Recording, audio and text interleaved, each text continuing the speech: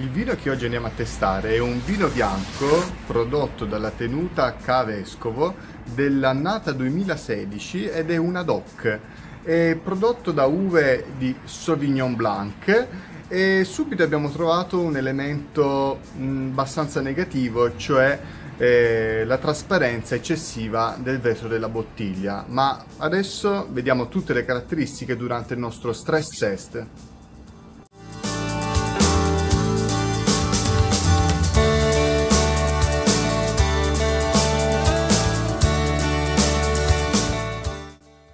Partiamo con l'analisi estetica della nostra bottiglia, parlando dell'etichetta che ha uno stile sicuramente classico che punta a trasmettere l'antichità dell'azienda, però probabilmente un po' confusa dovuta al fatto che sono stati usati caratteri diversi per ogni informazione fornita e con dimensioni mm, non proporzionate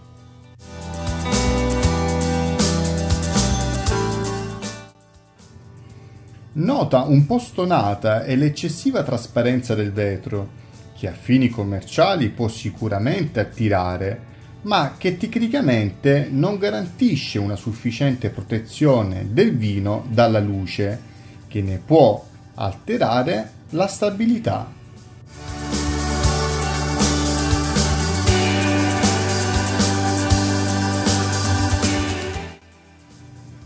Il tappo utilizzato è un agglomerato che ha garantito l'ottima conservazione del vino. Tipologia di tappo comunemente utilizzato per questi prodotti che appartengono alla fascia di prezzo di 6 euro.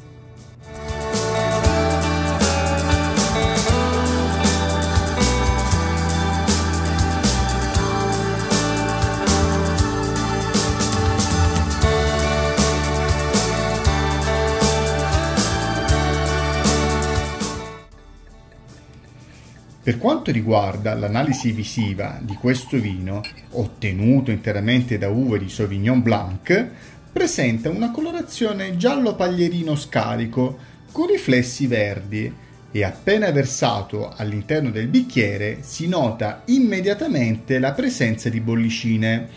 Questa produzione di anidride carbonica dovuta probabilmente a una leggera rifermentazione in bottiglia.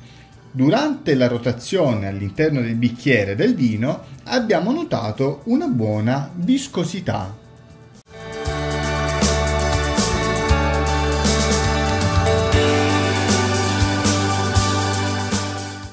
A livello olfattivo regala ottime sensazioni, si percepisce distintamente un gradevole aroma di pesca, pera e note di frutta esotica nello specifico mango ed ananas.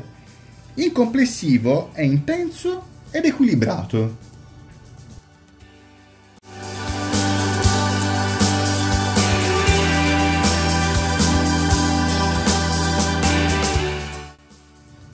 Per quanto riguarda la stimolazione gustativa, è evidente la notevole sensazione pungente dovuta alla presenza di anidride carbonica scaturita da una leggera rifermentazione, come ho già citato precedentemente durante l'analisi visiva. Altri stimoli che regala questo Sauvignon sono note lievemente dolci con un finale un po' amaro. Infine, pur essendo un vino da 12 gradi e mezzo, non crea problemi sensoriali di alcolicità rimanendo ben equilibrato.